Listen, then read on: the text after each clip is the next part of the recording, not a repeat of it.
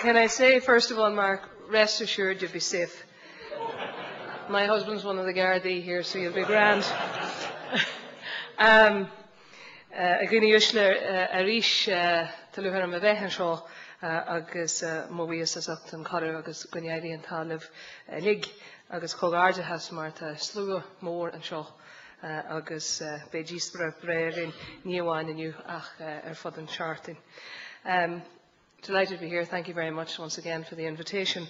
Uh, and Mark, you're very welcome. You've said this is your first time to Glenties, so hopefully it won't be your last. And uh, uh, also to our two other guests, one of whom uh, taught me one or two lessons when I was first appointed as Minister, uh, uh, Jim, who's been exemplary and has been here before, uh, and to a new colleague. I'm afraid that he should wipe my eye when it came to his jobs announcement, so I'll have to go down and see him myself. Uh, but it's wonderful to see someone who, he told me, moved from a small room into a large enterprise uh, with 800 people. So, you know, we also should celebrate success, and we're delighted, and I'm delighted to share uh, on the platform with you. I suppose really uh, the one thing I could say this, or this evening is what a year it's been since we were here in Glenties. The dramatic change in the tone of our debate this week is heightened by a perception of ourselves that has altered significantly. We've been reminded that Ireland is a small vessel on the economic tide. And this reality has been brought home to individuals and families across this country through job losses, reduction in income, or the Tiger era certainly dashed. So it's a difficult time for many. So nothing that I, or for that matter, matter any of our guests, say here tonight uh, can take from the immediacy of the difficulties affecting families where a mum or a dad is struggling to find a job. But what I want to do and to, to say to that family is that we understand and we were going to steer Ireland through the current economic storm and she is navigating a determined course. And that course is a course which, if we hold with it, will create jobs and see Ireland achieve a sustainable level of economic growth in the medium term. However, It is a course that will not be without pain in the short term. We've already experienced some of that, and as we've all spoke of, last week's report of the special group chaired by Colin McCarthy has indicated further difficult spending decisions lie ahead for this government. There is a growing acceptance, however, that the need to stabilise our public finances, restore our competitive position, and get our banks working again is a prerequisite to recovery. So if we really want to realise that smart economy, the subject of our discussion this evening, we must work to overcome those hurdles.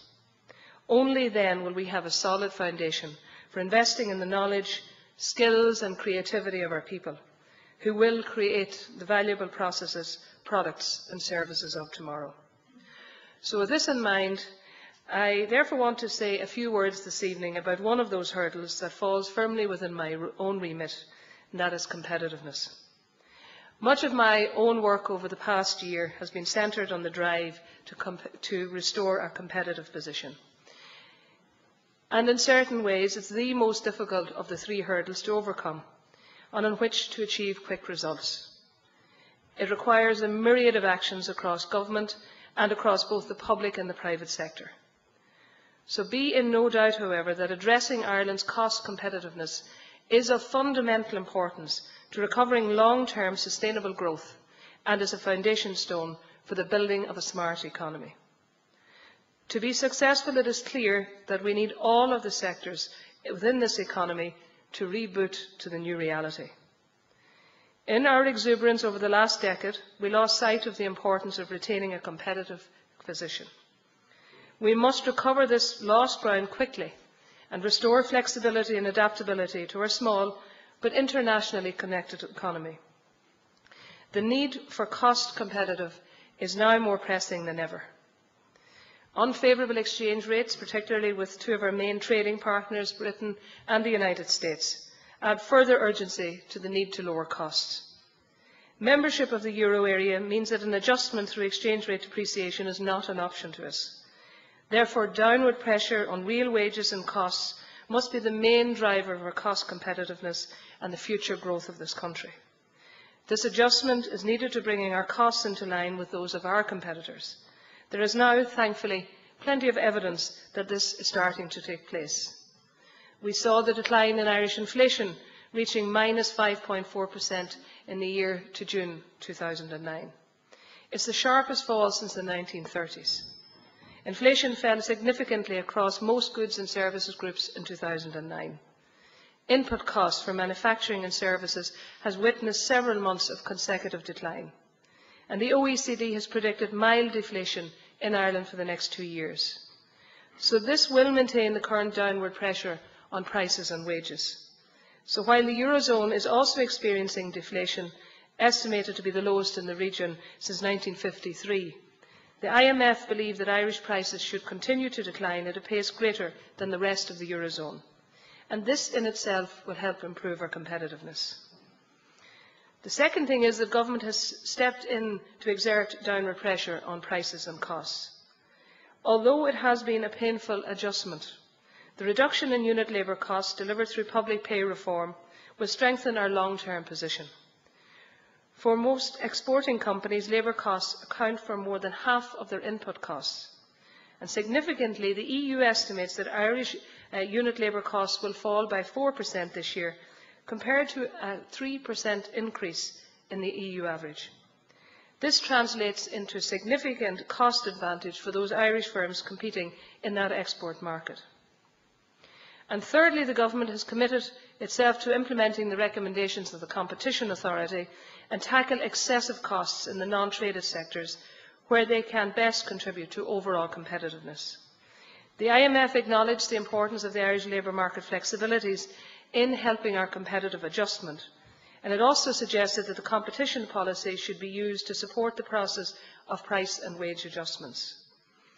Competition policy in a small open economy is relevant for all sectors of the economy, but particularly the services and the non-traded sector, since it is the non-traded sector that is a key determinant of Ireland's cost competitiveness. The Competition Authority has tended to focus its efforts, especially its advocacy efforts, on the non-traded sectors of the economy. The authority has used a number of reports in the past few years on non-traded sectors, including the areas of banking, utilities, professional fees such as engineers, architects, the legal profession, dentists and others. Implementation of the authority's recommendations is essential to remove competitiveness bottlenecks in the economy and to deliver better value and more innovation within these sectors. It is my intention to submit a report to Government before the end of this year outlining the progress achieved on the implementation of these prioritised uh, recommendations.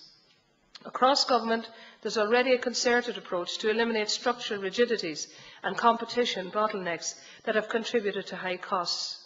Just last month, for example, we confirmed our intention to ban upward-only rent reviews.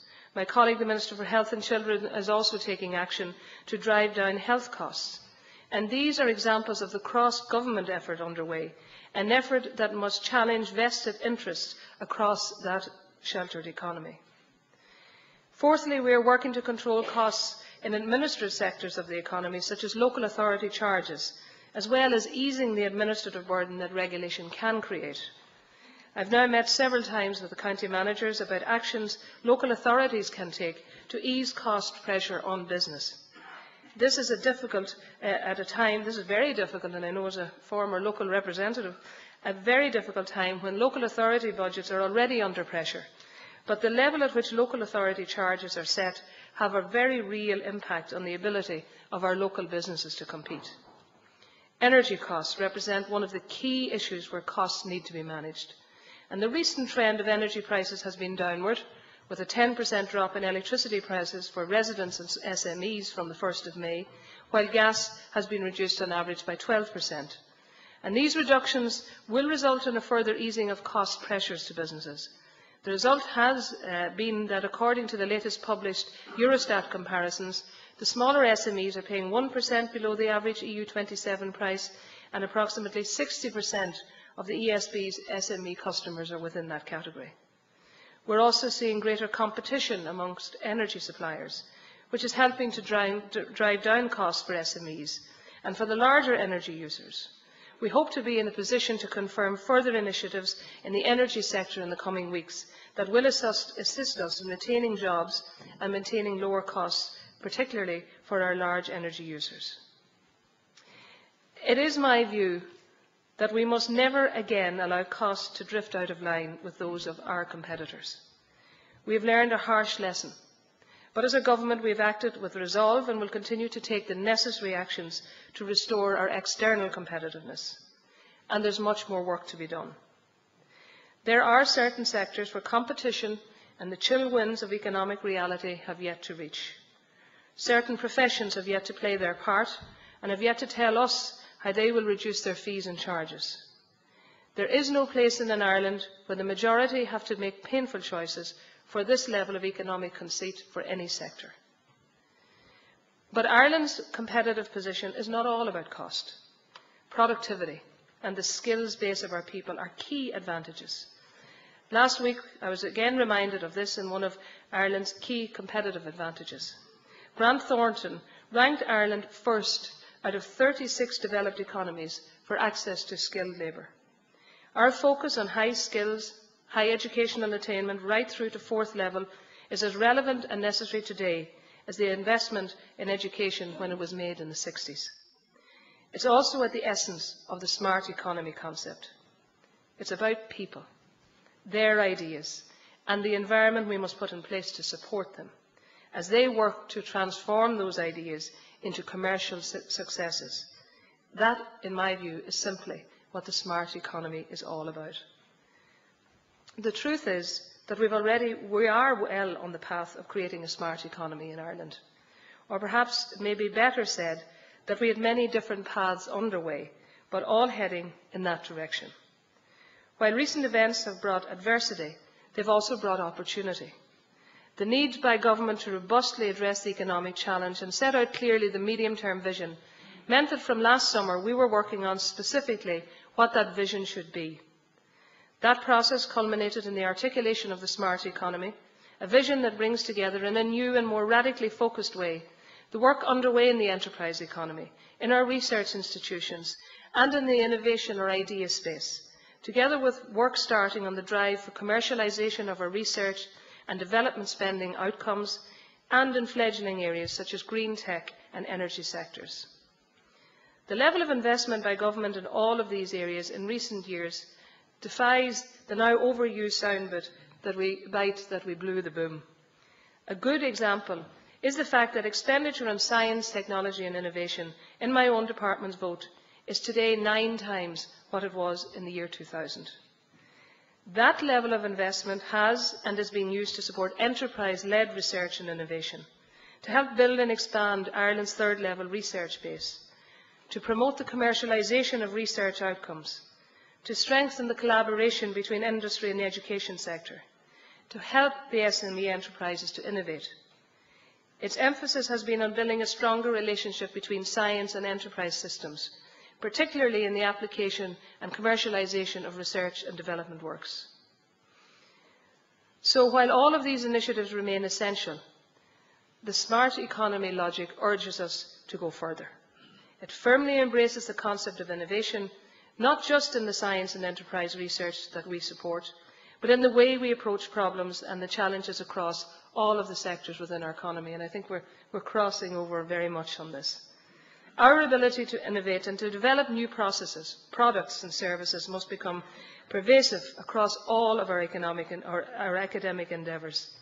The convergence of ideas, and we didn't copy, there's no plagiarism here, the convergence of ideas from across disciplines must combine with the application of new technologies to deliver products and services that people firstly need and want.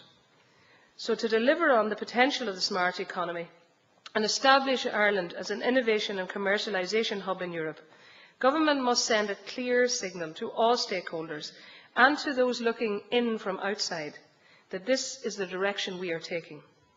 It is therefore time, I believe, that we consider whether government funding for all research activities should be viewed through the same innovation prism. The delivery of all fourth level research funding through one body, charged with an innovation grounded mandate, is something we clearly must consider. Given the resource challenges we face and the level of funding we continue to ring fence for research, research can no longer be for research's sake. It must produce real events and ultimately deliver new jobs. There must be a greater return on the taxpayer's investment. A move of all relevant funding streams to one body would, I believe, send out a clear signal that Ireland has taken a key strategic decision that research, development and innovation are going to drive not only our path to recovery, but the economic progress of our people in the years ahead. The biggest challenge remains commercialisation and the spin-out of those new businesses in our campuses.